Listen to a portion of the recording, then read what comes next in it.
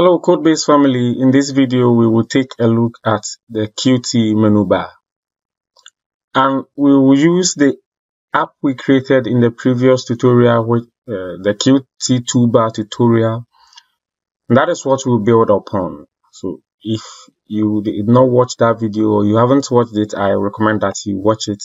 The link to the full playlist in the, is in the description. And this code here which is the starter code that we just took from previous tutorials and added a toolbar and then the toolbar actions as well as the the editor. So if you don't understand any of this code i recommend that you take a look at the playlist. The link is in the description. In the previous tutorial this is what we did. We created a toolbar set the movable to false. Of course, you can leave, leave it to true if you like moving the toolbar around. And then some toolbar actions for new, open, and save. We added the actions also to the toolbar. And then we created a text edit, added it also to the main layout. And this was the application. Just this one with a test uh, box that we can type in what we want to do is to add menu bar, uh, uh, the menu bar to the application. And it's quite simple. That one also we do it to the Q actions. What we can add to the menu bars are actions. Quickly, we will create the menu bar at the top here, just above the toolbar. So this place will be our toolbar. But just above the toolbar, we will create the menu bar. And that is also very easy to do. All that you have to do is you can call it anything, but I'll call it menu bar equal to self dot menu then menu bar. When we do this, we have created a menu bar for the application. It's actually in the comes default to the application, but this is how we access it to add actions to it. Just like the toolbar, we add what we call actions to the menu bar. So let us come to the place where we added the actions to the toolbar and then create our sub menus or menu items.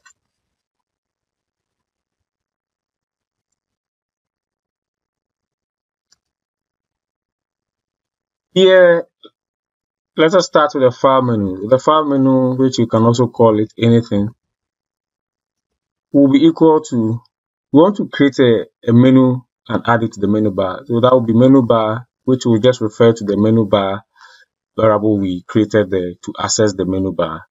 Dot add menu. We want to add menu to the menu bar, and in here we add the menu we want to, in our case, file.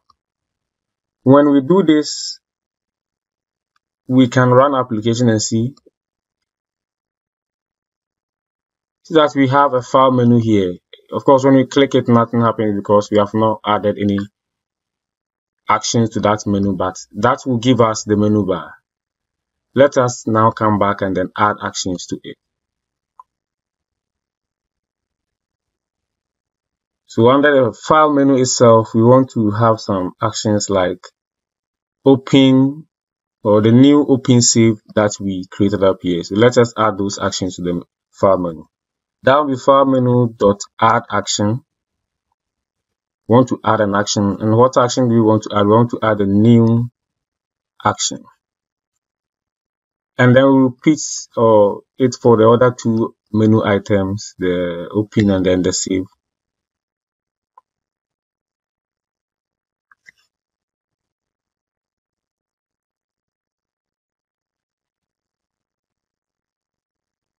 So now when we run the application, you should see all three added to the file menu. Here, they are all added nicely with their icons attached. And if we want to add the shortcuts also to it, like we see in most applications, we can do that by adding the shortcut to the action. In this place, we can say new action dot add shortcut.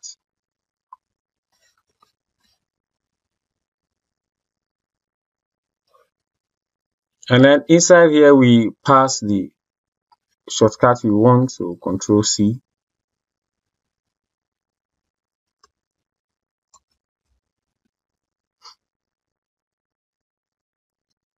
When we now run our application, we should see the we have an error. Says Q action has no attribute shortcuts. Okay. It is not add shortcut, it's set shortcut rather, sorry. We want to set shortcut rather. And in there is control plus C. So when we now click here,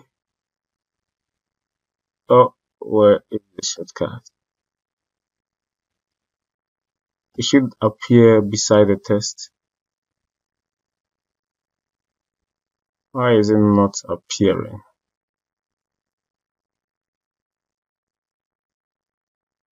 This thing should appear. I don't know why it is not showing. Let me add it to the open also and see. Open action dot set shortcut. In here, let me add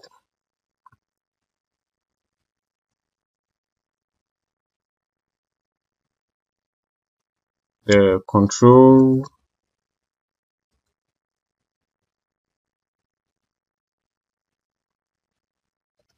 plus S and run it and see.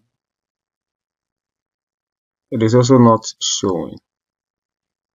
Okay. I think I found the error this one well the spaces between the test, like the control and the plus and the C, should be what is causing the problem that we are facing. Okay, so when I remove the space, you see that it's actually showing. Um, open new shouldn't be control plus C, control plus N. In this place, I should also make it control plus O, but not with uh, without the spaces.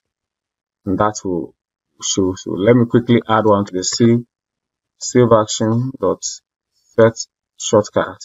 I want to set it to control plus S. When I run this now, you will see that they all have their shortcuts attached here. So let us create another menu for the file where we have the cut copy paste and all. I'll um, come to where we created our menu bar and first we have to create actions for the other menu also. We can just duplicate these ones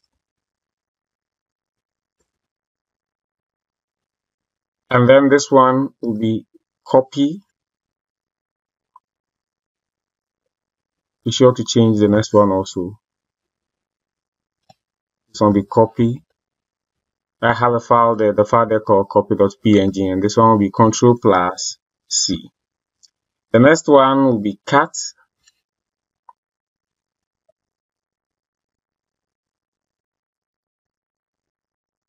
which will be control plus X. The next one will be paste. Which should be control plus V. If you're on a Mac, I think it should be CMD, the CMD plus, CCMD plus. What we have to do now is to create the new file, uh, the new menu, and then add the actions. So this one was the file menu. This one will be the edit menu. The link to this file and the icons I use will all be in the description so you can download it and then use it. Let me say this is the edit menu. And so everything here that says file will be edit now. And then we have to change this one also to edit. But for this one, we are not adding the new action, we are adding the copy cut and paste. I know we've done a lot, we've done a lot. All the other we did new was to create new actions here. I think I have to change the shortcuts to copy, test to copy, cut, and paste. It is all that we did was to create new actions here. This ones we are not adding to the toolbar, so the toolbar actions will remain the same. And then we created a new menu here called the edit menu, added it to our menu bar, and added those actions that we created to the edit menu. Let us run our application and see. Now we have another menu apart from the file menu, which is the edit menu, which has cut, uh, copy, cut, and paste options. So how do we add an action to any, uh, a, how do we add a connection or a signal and a slot as we saw in the signal and slot video to these actions so that they perform something? Well, I'll create a new action and add it to the file menu, which is the quit action. So if I duplicate this line, okay, if I duplicate the save action,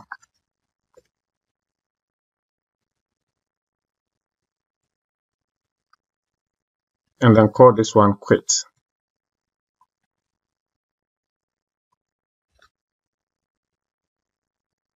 I don't have any icon in there for quit, so I'll delete that part just put the text there that will say quit.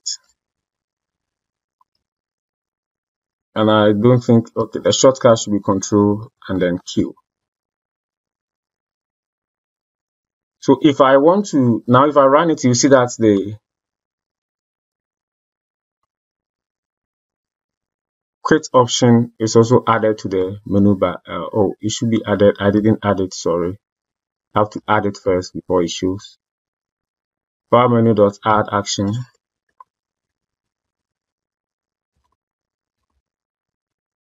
And I want to add a quit action.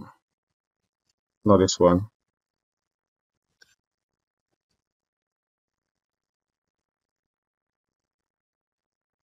Now it shows here. Control plus Q and when I click on it nothing happens. And I, when I press control and Q to nothing happens but we can add a connection to it like we always do down here in our file.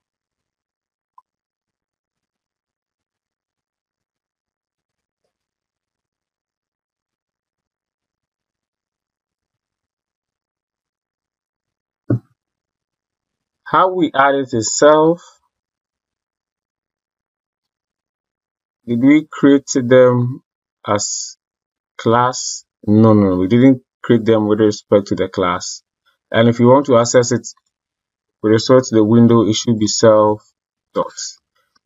So for that quit alone, let's make it that way. If you want to connect all other actions or methods to all the other ones, make sure you make them self dot self dot self dot. So that we can access it here like self dot quit action dot triggered dot connect when somebody triggers the action, when you trigger the action, what should happen? We can just pass in self dot close. This close, we don't have to create it. Make sure that it doesn't have the open and close parentheses. It comes with the Qt itself. It's inbuilt. We don't have to create it. It will just close the application for us when we. It is saying quit action is not defined. But that is not how we named it.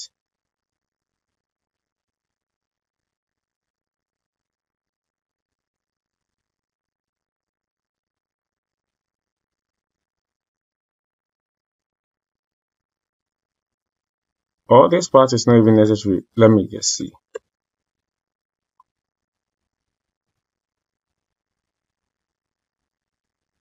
That part, I think, I don't think that part was necessary because we still said we are adding it to self.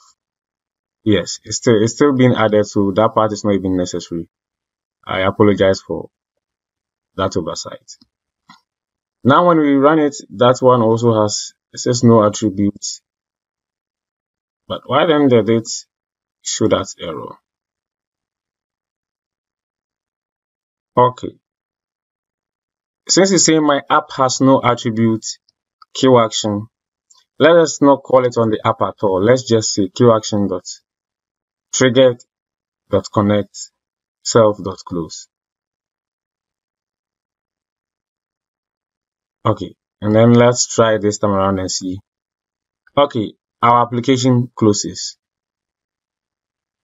So this is how to add an action, at the, uh, um, uh, a function or whatever you want. We want the action to do something when it is clicked. This is how to do it. So we call the action and then dot trigger dot connect.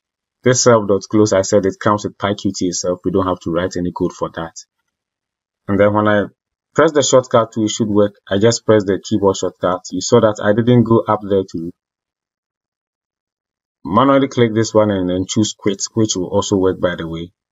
Now I'm pressing, keeping my cursor in the middle and then I'll hit control and Q, which should close my application for me. So just that, you just type the shortcut in and then PyQt knows what to do with it.